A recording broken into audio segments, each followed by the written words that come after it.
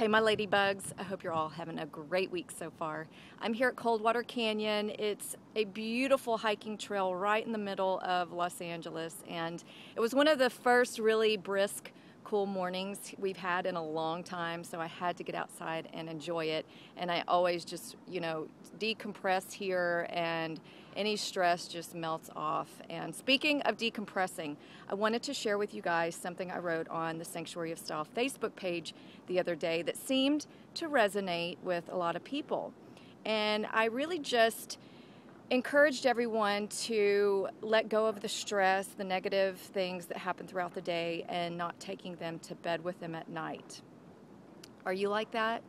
Do you seem to have a hard time sleeping because you keep replaying all of the negative things that happen? Maybe you know you got in a fight with your husband or your boyfriend or a colleague sent you a nasty email or a crazy driver cut you off or uh, you know whatever it was maybe it was all those things you know they seem to accum- accumulate throughout the day and it's really difficult for us to shut our minds off and not replay all of that negativity and uh, trust me I, uh, i've dealt with this for so long i have one of those minds that just cranks and I find it really hard to shut my mind off. And I really don't have trouble falling asleep. I actually go to sleep pretty, pretty early but it's staying asleep that I have a problem with. Do you find that you're waking up at 2 and 3 a.m.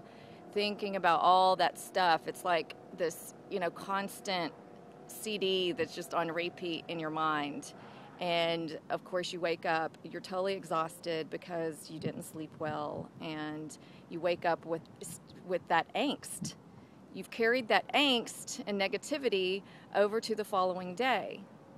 And I know that Ambien and those types of sleeping pills are the most sold prescription right now on the market. And truly, the best sleeping aid is peace. It really is.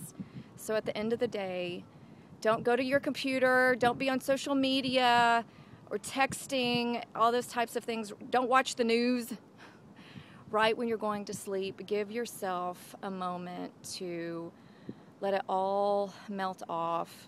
You know, a, a hot bath does wonders, and you'll find that you're staying asleep, you're waking up the next day rested, recharged, and the lack of sleep is really the worst thing for aging, speeding up the aging process.